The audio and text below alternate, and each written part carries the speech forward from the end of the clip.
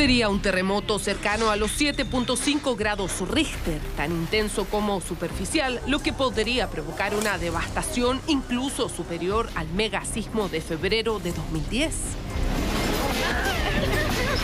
Esta falla está activa y es capaz de generar grandes terremotos. Nadie le ha puesto el cascabel al gato, la verdad. La falla San Ramón cruza las comunas de la precordillera de la capital y está activa. El problema es que se sigue construyendo sobre ella. ¿Por qué no se han detenido estas edificaciones? El sector de la construcción presiona mucho para que no le pongan cortapisas en sus negocios. Falta todavía mucha información técnica y evidencia científica al respecto. Dado la información que tenemos, el Ministerio de Vivienda tiene que tomar el toro por las astas. Ahora es el Congreso el que exige detener las construcciones sobre la falla San Ramón. El riesgo en la precordillera es real.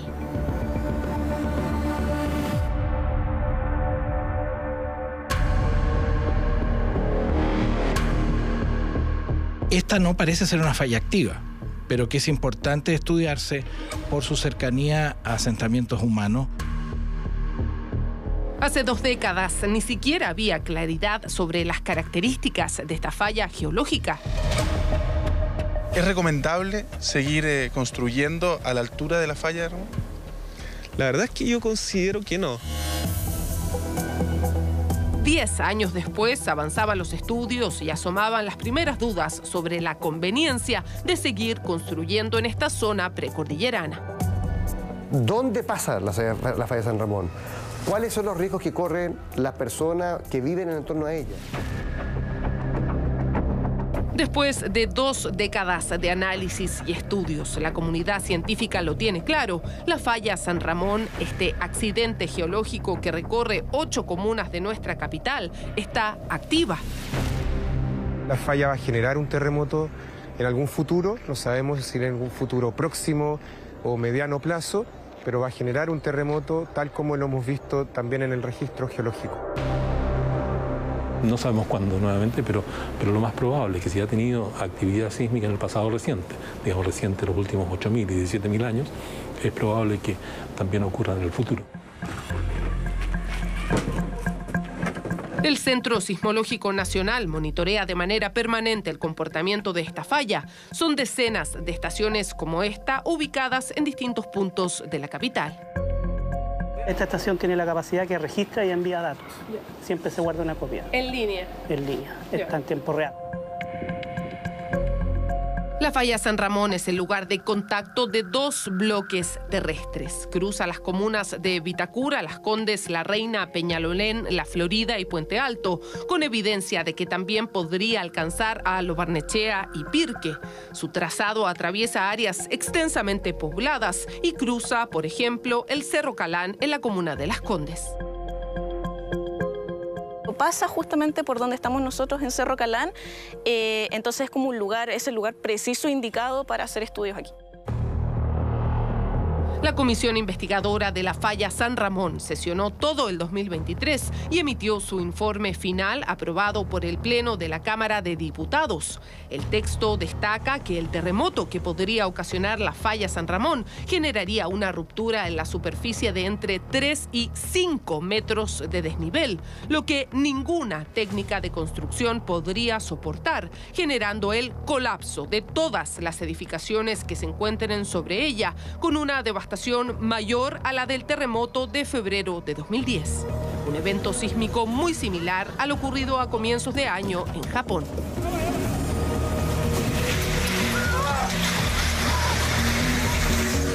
Creemos que es muy parecida, porque se trata de una falla inversa, es decir, un bloque se monta sobre el otro, se mueve eh, sobre, el otro, eh, superficial, y que es una magnitud 7.5 que eso 7.6, que más o menos corresponde a las mismas características de lo que se cree que ocurrió en, la Sabana de San Ramón anteriormente. El mismo informe reconoce que ya más del 50% de la falla San Ramón está urbanizado sin que ninguna medida haya evitado este desarrollo inmobiliario, una grave situación de negligencia de las autoridades según el Poder Legislativo. No, yo creo que la gente ya lo tiene asumido en que si llega a pasar, no hay mucho más que hacer que, que esperar que no pase nada grave, pero, pero la gente lo tiene asumido. Son miles de familias las que viven en los sectores precordilleranos. Muchos de ellos, como Joaquín, no sabían del riesgo cuando llegaron a instalarse aquí. Yo creo que si, si hubiésemos tenido un conocimiento no amplio, pero lo suficiente, yo creo que hubiésemos tomado otra decisión. De vivir quizás en otra zona. Claro. Esta falla tiene capacidad de romper la superficie y eh, dependiendo de qué es lo que está construido y cómo está construido, eh, eh, se generaría el daño en las zonas inmediatamente aledañas a la falla. Lo que está construido es una larga lista de infraestructura de gran envergadura. Centros comerciales, universidades, colegios y jardines infantiles, hospitales, plazas, clubes deportivos y centros de eventos, además de miles de viviendas. Un eventual terremoto en este sector sería una tragedia que según el propio informe podría afectar a más de 3 millones de personas.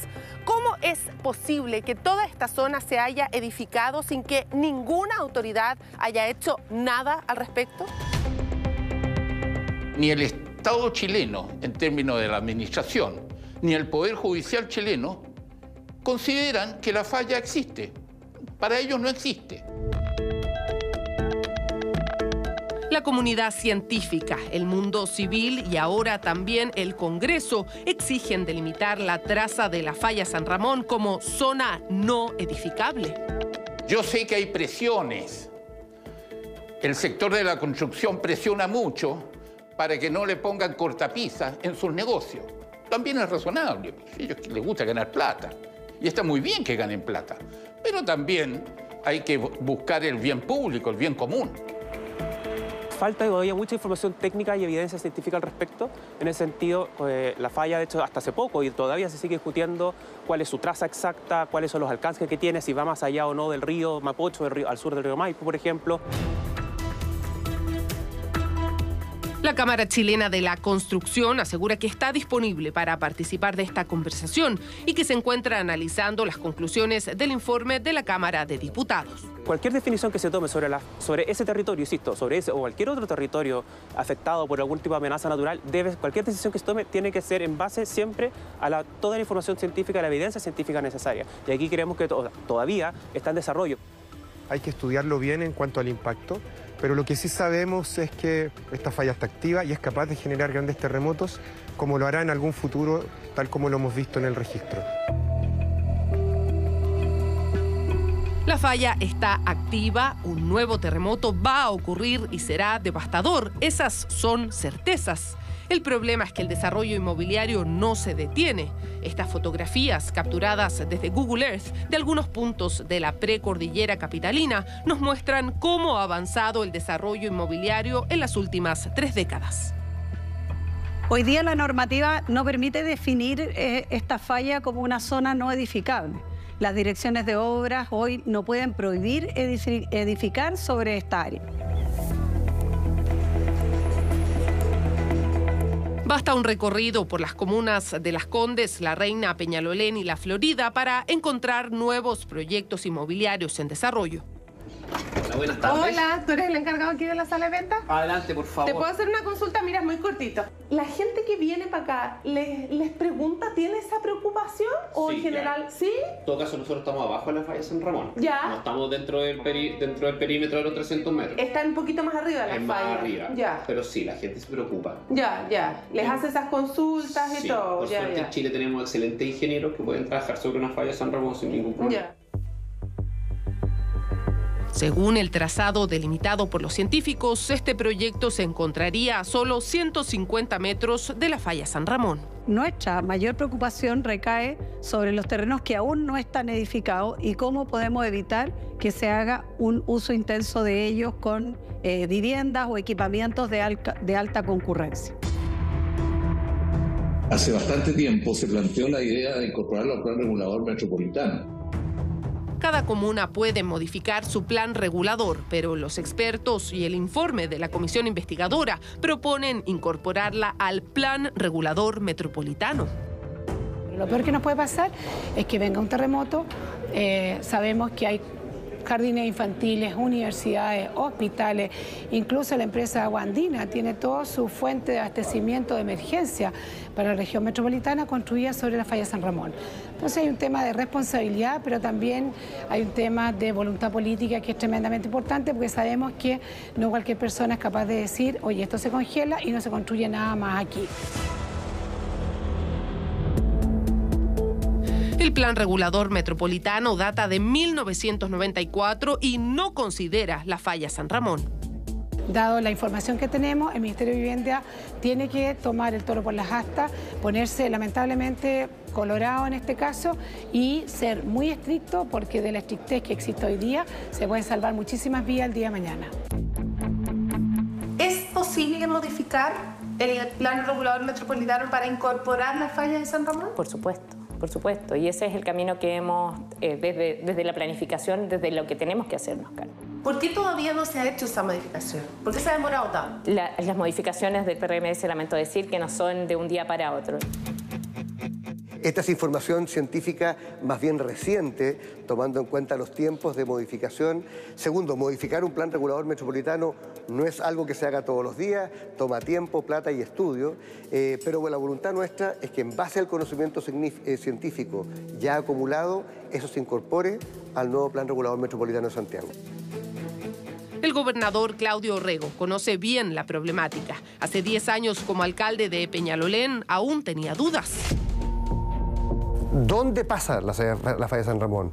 ¿Cuáles son los riesgos que corren las personas que viven en el entorno a ella?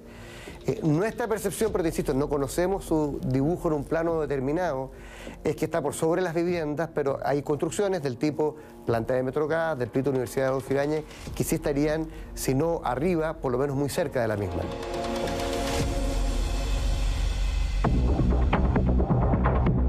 Una década después, tiene la convicción de que la falla San Ramón debe ser incorporada al plan regulador metropolitano. Debería traducirse en una prohibición de construcción en esa zona o bien un tipo de edificación que sea compatible con el riesgo. Tanto el Ministerio de Vivienda como la Gobernación Metropolitana aseguran que el proceso está avanzando.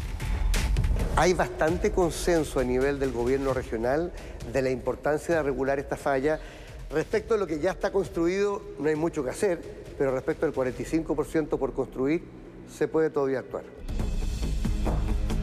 La voluntad de la autoridad existe. Los plazos, eso sí, son extensos. Una modificación al plano regulador metropolitano, aseguran, puede demorar hasta cuatro o cinco años. El problema es que en ese intertanto los proyectos inmobiliarios siguen avanzando en una zona que es de altísimo riesgo.